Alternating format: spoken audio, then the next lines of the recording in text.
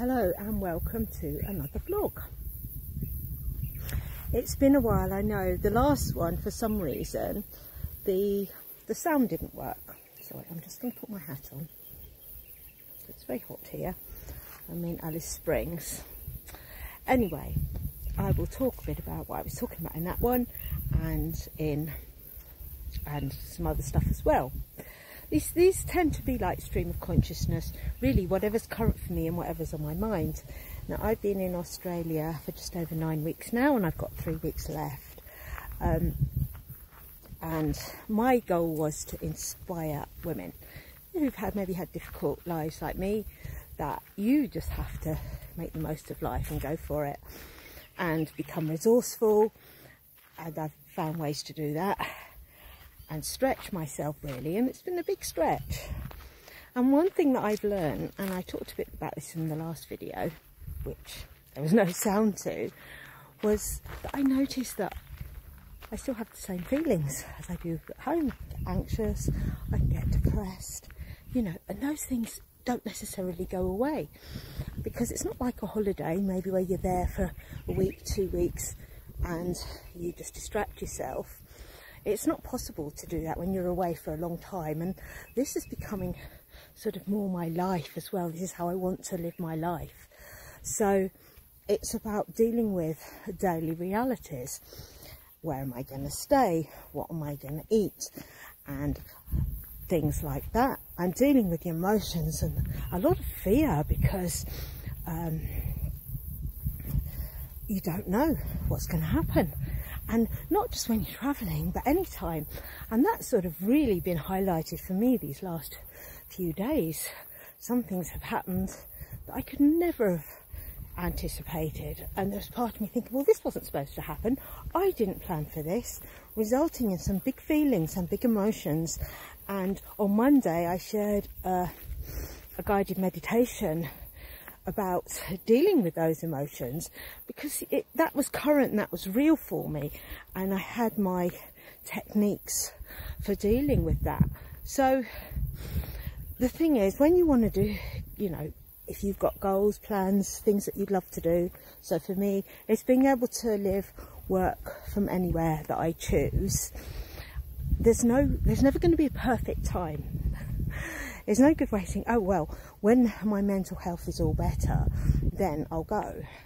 And it's, let's face it, it's a lot better than it was a couple of years ago. And I, I don't very often get depressed and anxious these days. I'm saying I never do, but it's it's a, on a different level now, and I've got more tools and ability to deal with it because as I've gone through it, I I've learned, I've healed, and each time you know, something comes up, I can look at the lessons that life is showing me. I can take a step back and instead of reacting, think, well, how am I going to deal in this situation? Do I need to do anything? Or can I just sit with how I'm feeling and eventually it passes, even though at the time it might feel like, oh, I'm stuck in this, it's never going to change. Does, nothing ever lasts forever. So, and, and one of my, you know, one of the things as well, it's like, that's happened this week, it's like, well, I'm used to being on my own. And I, I had a friend travelling with me for a bit and that was challenging at first because I'd been, been mostly on my own. Also, I've been staying with people and that met people on the way, but having somebody with you pretty much all the time, that was an adjustment. And then, as I say, the last few days I've done a tour with 20 other people and I've made friends with some other people. Things have happened which brought up all this stuff because I'm like, oh, I the way I saw the situation was not what it was. And then I realised I'd misinterpreted it. I'm thinking, oh, no, this um, wasn't in my plan. I'm, i want to be on my own. I'm, I'm single and I'm happy. But you never know, do you? What is going to happen? And I think for me, I, I, I sort of stopped looking for relationships and thinking, um, I don't mind. In fact, my choice would be probably to be single. But then you never know if you're going to meet somebody. And when that happens, it, it can bring up a huge amount of stuff because it, it you can get complacent and think, well, this is fine now. I've dealt with all the stuff. I've healed from previous relationships or, you know, pretty much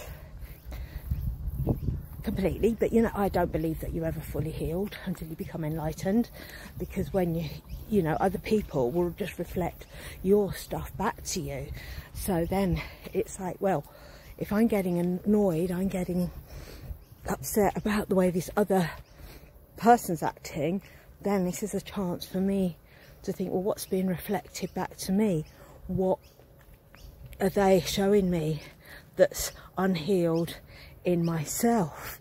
And want you know and it's no good wanting other people to act differently or be more spiritual or more aware because everybody is where they're at on their journey. And i I just say well all we can do is just work on ourselves with whatever's going on in the world we can only do our best heal our wounds and then the world becomes a better place. So I would just say, whatever is going on in your life right now, whatever you're feeling, and however, you know, stuck you might be feeling, you know, I've been there, I've been through all that. It's, it, it's not going to last forever. And if you're patient, have faith, you're able to be with whatever's happening, then a life unfolds and it, it, it's like, well, we can't predict what's going to happen. We can make plans, sort of, but all our plans are provisional.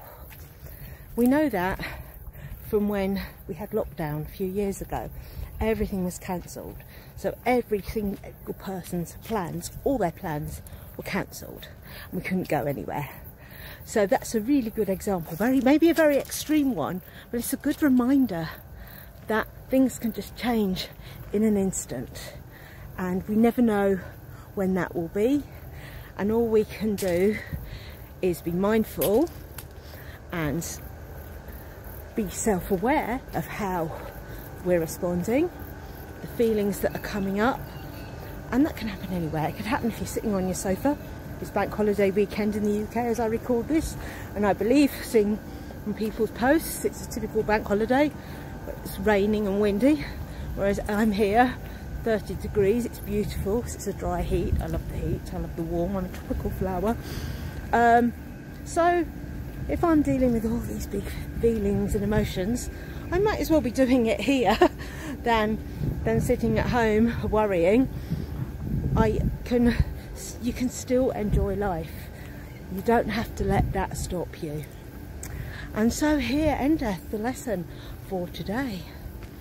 I will just flip my camera around and show you some of the beautiful scenery. Over there is the Todd River, which leads up to the original Alice Spring, which is not actually a spring at all. They thought it was, but it's not. Anyway, thank you for listening. Please subscribe to my channel if you haven't already for more vlogs, guided meditations, EFTs, and I will see you again very soon. So in the meantime, time, take care, go well, and lots of love.